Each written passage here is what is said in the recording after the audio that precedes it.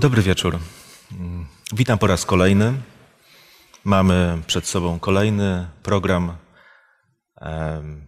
od słowa do słowa. E, Naprawdę bardzo się cieszę, że mam po raz kolejny możliwość spotkać się e, z widzami telewizji Nadzieja TV. Minął tydzień. Myślę, że bardzo szybko minął tydzień. Tydzień różnych naszych obowiązków, naszych prac i mamy znowu Dzień Święty. Z tego się cieszymy. Ja cieszę się jeszcze z tego, że w naszym kościele mamy już od kilku dni taki szczególny czas. E, 10 dni modlitw to jest taki cykl spotkań, który e, mieliśmy już możliwość przeżywać w zeszłym roku. E, Teraz również spotykamy się po to, żeby rozważać Boże Słowo, żeby się modlić. E, I dlatego mówię, że jest to bardzo dobry czas, taki wyjątkowy. E, Myślę, że każdy, kto chce, może naprawdę z tego skorzystać, nie tylko sięgając do Bożego Słowa, nie tylko e, w modlitwach wyrażać swoje nadzieje, ale też i radość i chwałę naszemu Bogu, ale jest to też czas szczególnej społeczności, kiedy nie tylko ja sam, czy z najbliższymi, ale z taką świadomością, że ze wspólnotą, czy we wspólnocie z wszystkimi naszymi braćmi, siostrami, z przyjaciółmi, e, możemy naprawdę jednoczyć się w tym, w tym wyjątkowym, w tej wyjątkowej intencji modlitwy o Ducha Świętego. Sam program 10 dni modlitw ma naprawdę wyjątkowy tytuł. Jest to taki symbol oczekiwania apostołów na coś wyjątkowego i chciałbym, żeby i w naszym życiu też wyjątkowo ten czas minął i żeby doprowadził nas do czegoś, co rzeczywiście będzie jakby nowym odkryciem, nowym e, życiem z Bogiem. E, Chciałbym w związku z tym sięgnąć też i do Bożego Słowa. Nie w oderwaniu od tych właśnie dziesięciu dni modlitw, ale chciałbym sięgnąć do urywka Ewangelii według świętego Łukasza. Chcę czytać to, co jest napisane w rozdziale 11 tej Ewangelii. Ściśle się to wiąże z tymi naszymi rozważaniami, które rozpoczęliśmy niedawno, e, ale myślę, że to jest, e, to jest odpowiednie słowo na dzisiejszy wieczór. Jedenasty rozdział Ewangelii Łukasza i wiersz pierwszy. A gdy on w pewnym miejscu modlił się i zakończył modlitwę, ktoś z jego uczniów rzekł do niego: Panie, naucz nas modlić się, jak i Jan nauczył uczniów swoich. Wtedy rzekł do nich: Gdy się modlicie, mówcie: Ojcze nasz, który jesteś w niebie, święć się imię Twoje, przyjdź królestwo Twoje, bądź wola Twoja jak w niebie, tak i na ziemi. Chleba naszego powszedniego daj nam dzisiaj, daj nam na każdy dzień i odpuść nam grzechy nasze, albowiem i my odpuszczamy każdemu winowajcy swemu. I nie wódź nas na pokuszenie, ale nas zbaw ode złego. Za chwilę będę czytał kolejne słowa, kolejne nauki Jezusa Chrystusa, które znajdujemy w tym rozdziale. Ale chciałbym zauważyć właśnie, że Pan Jezus uczy nas modlić się i wydaje mi się, że to jest najważniejsza myśl. My, jako ludzie, wypowiadamy słowa modlitwy, ale apostołowie wiedzieli, żeby, że żeby ta modlitwa miała znaczenie, żeby była dobrą, prawdziwą modlitwą, to dobrze jest uczyć się jej od Jezusa Chrystusa. Wiedzieli o tym może dlatego, że widzieli Jezusa, słyszeli Jego modlitwę, a później mieli wielki przywilej oglądać Jego życie, pełne mocy, życia, takiej świeżości, świeżości wiary, która, która ich zadziwiała. Zapragnęli tego samego. I Pan Jezus wypowiedział słowa bardzo krótkiej, ale jednak niezwykłej modlitwy, modlitwy Ojcze Nasz. I naszym ogromnym przywilejem jest to, że w tym okresie dziesięciu dni modlitw możemy słowo po słowie, werset po wersecie rozważać znaczenie tej modlitwy. Nie po to, żeby mieć większą wiedzę tylko i wyłącznie, ale żeby uświadomić sobie, może po raz pierwszy, może bardziej to, co tak naprawdę Bóg nam oferuje. Możemy sobie uświadomić to, co tak naprawdę jest ważne dla Boga. To, o czym powinniśmy pamiętać, bo tak powiedział Pan Jezus. Czytamy tutaj naprawdę o wyjątkowych rzeczach. O ojcowstwie Boga. Czytamy o Królestwie Bożym, na które czekamy. W swoim życiu już teraz ludzie mówią o Królestwie Bożej łaski. Niech rzeczywiście panuje w naszym życiu. Ale kiedy słyszymy o Królestwie Bożym, myślimy też o Królestwie Bożej chwały, kiedy Jezus Chrystus przyjdzie z apostołami, e, z aniołami, po to, żeby wszystkich nas ubłogosławić i zabrać do swojej ojczyzny. To jest nasza naprawdę ogromna nadzieja. W tych słowach modlitwy pańskiej czytamy o Bożej sprawiedliwości. Czytamy o tym, że Bóg, czy my możemy mieć wielką nadzieję w Bogu. Tutaj czytamy o braterstwie i czytamy o takiej wierze w to, że Bóg może nas uchronić od wszelkiego zła. Ale to, co chciałbym tylko tak na samym wstępie powiedzieć. To, co najważniejsze, jest na samym początku. Apostoł spisuje słowa Jezusa Chrystusa, który pokazuje nam Boga. To nie jest tylko kolejność modlitwy, ale mówi o Bogu, który ma być obiektem naszych myśli, westchnień, ma być kimś, kto będzie zajmował w naszym życiu pierwsze miejsce. A kiedy tak jest, to tak naprawdę wszystko inne będzie ułożone w tym należytym porządku. Jest to naprawdę bardzo ważne. I mamy świadomość tego, że czytamy modlitwę, która jest y, taką modlitwą nowej wspólnoty.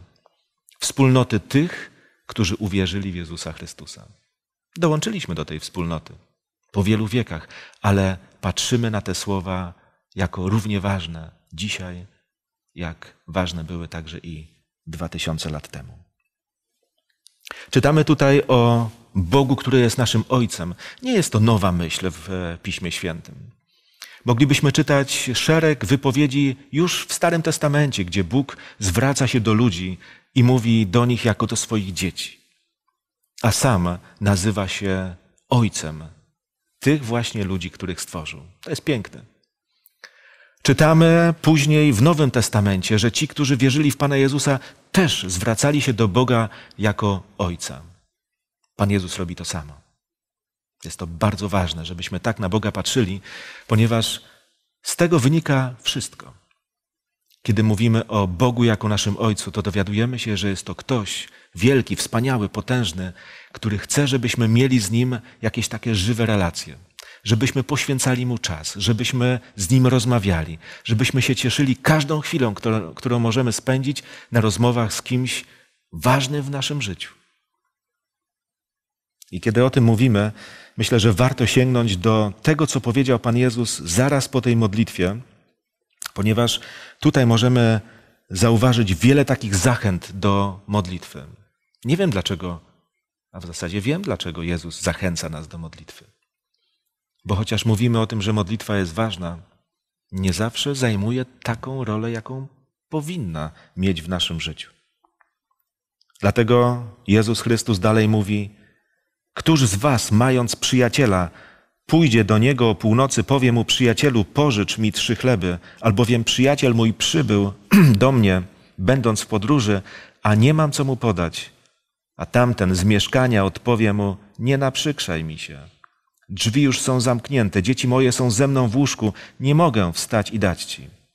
Powiadam wam, jeśli nawet nie dlatego wstanie i da mu, że jest jego przyjacielem, to dla natręctwa jego wstanie i da mu, ile potrzebuje.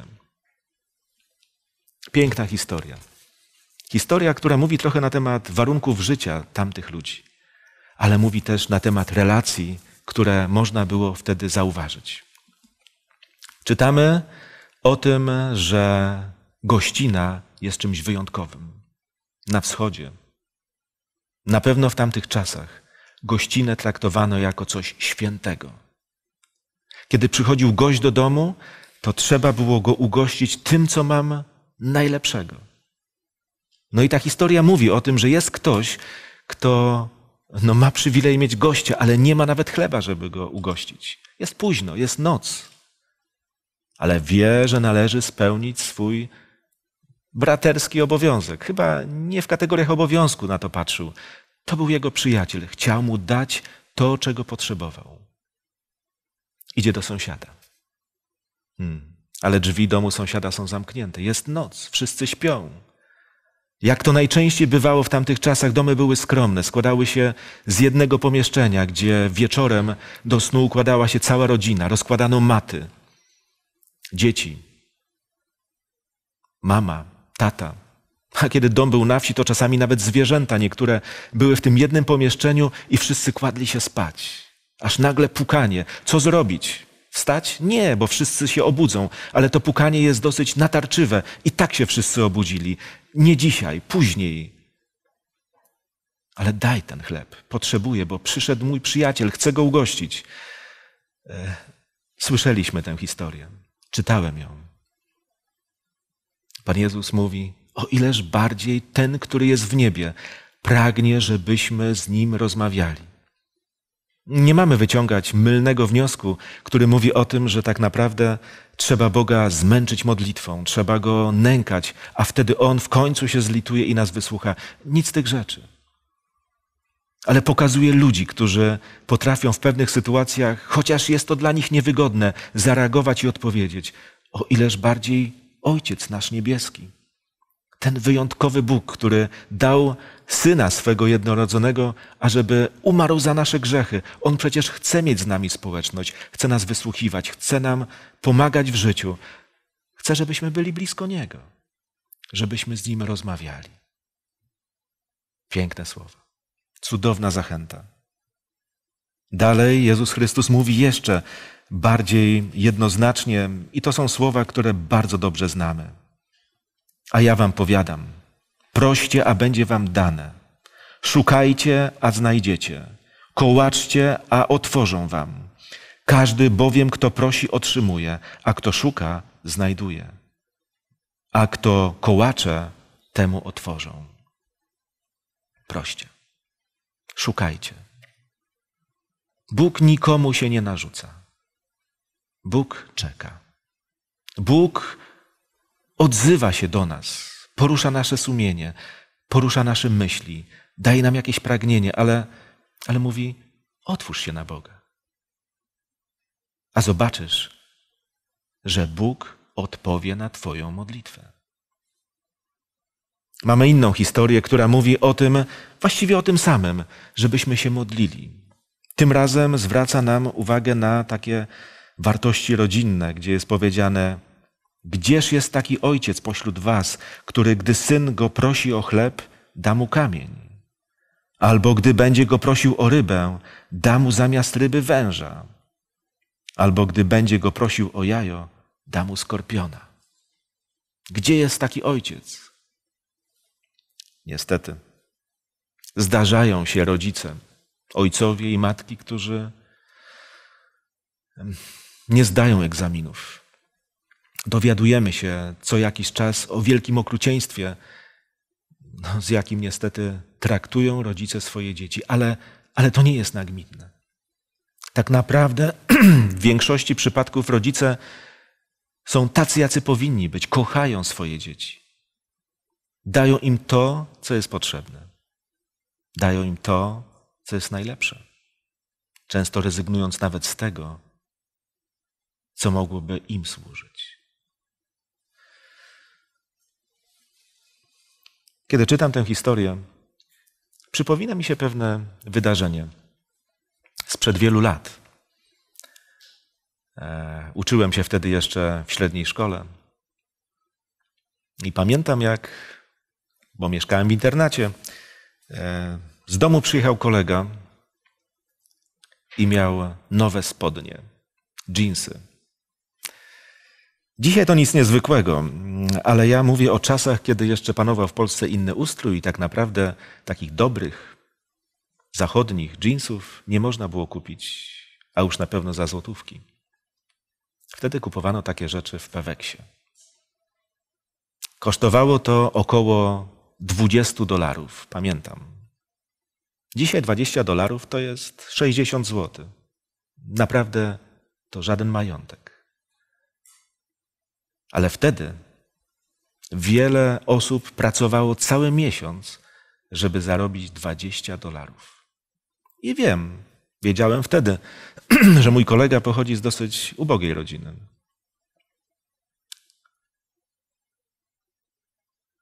A jednak dostał takie drogie spodnie. Rozmawialiśmy o tym. On nawet powiedział, że był tym bardzo skrępowany, kiedy mama czekali na niego w domu z tym prezentem. On nawet proponował, mówiąc: Mamo, oddajcie te, te, te spodnie do sklepu. To, to jest za drogo, to za dużo dla nas. I pamiętam jak dziś, kiedy on powiedział, i tutaj cytuję: Synu, oddasz to swoim dzieciom. Od tego czasu minęło ponad 30 lat. Ale pamiętam dobrze te słowa. Myślę, że wtedy mój kolega dostał nie tylko świetne dżinsy, ale dostał coś znacznie więcej. Dostał niezwykłe zapewnienie ogromnej troski, miłości, poświęcenia swoich rodziców. Wtedy taki gest był naprawdę wyrazem wielkiego poświęcenia. Wielu z nas może wspominać podobne inne może wydarzenia, w których dostrzegamy w swoich rodzicach kogoś wyjątkowego, troskliwego, pełnego wielkiej ofiarności. Bóg mówi: Spójrz na mnie, spójrz na mnie. Ale ta modlitwa, te rady mają pewien swój finał. W ostatnim wersecie, który chcę dzisiaj czytać, jest to werset 13, 11 rozdziału Ewangelii według świętego Łukasza, gdzie czytamy: jeśli więc wy, którzy jesteście źli, umiecie dobre dary dawać dzieciom swoim, o ileż bardziej Ojciec Niebieski da Ducha Świętego tym, którzy Go o to proszą. Pan Jezus do czegoś zmierzał. Owszem, On powiedział, że mamy się modlić o wiele rzeczy i o ten chleb powszedni, o nasze życie, to wszystko, co dotyczy nas, naszej codziennej egzystencji. Ale Pan Jezus zmierzał do rzeczy najważniejszej. Tak naprawdę chcę, żebyśmy nigdy nie, zapom nie zapomnieli o tym, że kiedy modlimy się, to największą naszą potrzebą jest otrzymanie, posiadanie Ducha Świętego, żebyśmy z Nim mogli żyć. Bo tak naprawdę to uzdalnia nas do tego, żebyśmy mogli się właściwie modlić żebyśmy mogli właściwie postrzegać Boga, innych ludzi, żebyśmy byli ludźmi, którzy naprawdę są wierzącymi, są chrześcijanami. Ten duch przychodzi ze swoimi darami, z przemianą charakteru, z wszystkim tym, czego potrzebujemy. I za to naprawdę jestem Bogu wdzięczny, że mamy przed sobą taki szczególny czas, dziesięciu dni. To nie jest tylko dziesięć dni, bo przecież nasze modlitwy nie zaczęły się od pierwszego dnia tego programu, ani nie zakończą się po dziesięciu dniach. Ale mamy pamiętać o tym, co istotne, i ten czas dziesięciu dni ma nam to po raz kolejny uzmysłowić. Chciałbym, żebyśmy z tego korzystali, moi drodzy. Żebyśmy szukali społeczności z tymi, którzy są bardzo blisko, może czasami nawet i daleko, ale jeżeli mamy okazję, spotykajmy się, czytajmy Słowo Boże. Mamy różne intencje. Jesteśmy ośmieleni przez Jezusa Chrystusa, żeby nie być skrępowanym, żeby po prostu trzymać się tego, co Jezus nam powiedział, do czego nas zachęca. Módlmy się. Módlmy się wytrwale, módlmy się gorliwie. Tak jak w tych przykładach, o których czytamy. Bo taka gorliwa modlitwa jest gwarancją jej szczerości, jej autentyczności i tego niech nam nie zabraknie. Modlitwy nie powinny się sprowadzić do pewnych rytuałów, które wypełniają życie chrześcijanina, bo wtedy nie mają żadnego znaczenia. Może robią wrażenie. Bogu nie zależy na, wrażeniu. Na wrażeniu. Panu Bogu zależy, On marzy o tym, żebyśmy mieli czas dla Niego. Czas, który my poświęcamy nie jako wielką ofiarę, ale traktujemy to jako wielki przywilej, żeby z Nim rozmawiać, być, mówić i słuchać i odbierać błogosławieństwa, bo przecież Bóg wysłuchuje nasze modlitwy.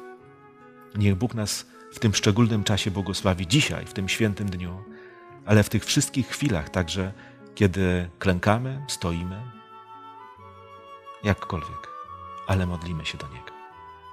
Niech Bóg nas w tym błogosławi. Amen.